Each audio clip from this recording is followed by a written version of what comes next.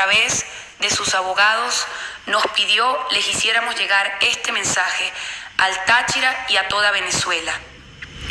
Sabemos que Venezuela logrará el cambio político, que estamos ganando todas las batallas a la tiranía, pero es muy difícil hacérselo ver a todos. Solo es una dictadura, con mucho miedo de perder sus privilegios.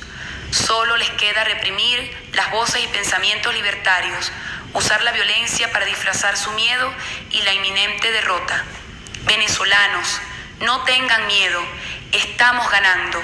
Mantengan el valor y sepan que están haciendo lo correcto. Son héroes y heroínas. Mi amor y admiración a mis paisanos gochos, a los tachirenses, a todos los andinos. Poseen la voluntad para la liberación. Cada uno decidió ser libre y tiene la voluntad de actuar. Cada uno es una conciencia responsable de su liberación y ahora se han transformado en pueblo de hombres y mujeres libres. Sin importar cuánto traten de oprimirlos, triunfará la libertad.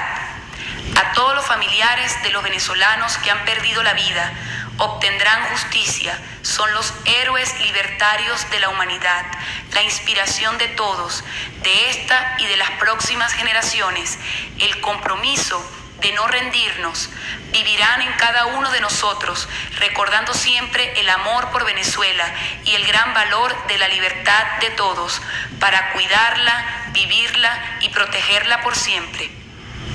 A Maduro, a Bielma Mora, y a todos quienes ocupan cargos en el gobierno. Es posible que no escuchen, es posible que crean tener el poder infinito, es posible que no hagan caso de estas palabras, pero aún así podemos y debemos hablarles.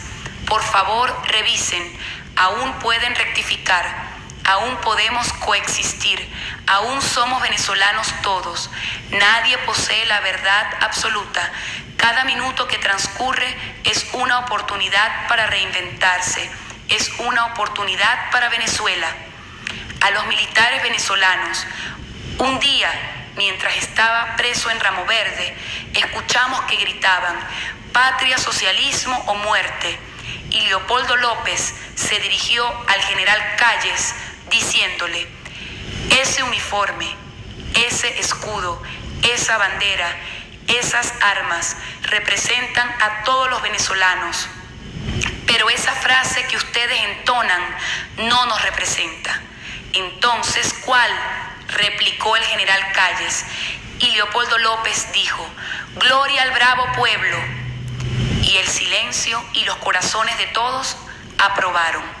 Jamás olvidaré ese momento el sentimiento de todos por ese ideal que ustedes representan y al que juraron proteger, ese gloria al bravo pueblo, y sin ese bravo pueblo, que es la patria misma y los hijos de libertadores, entonces ¿qué son?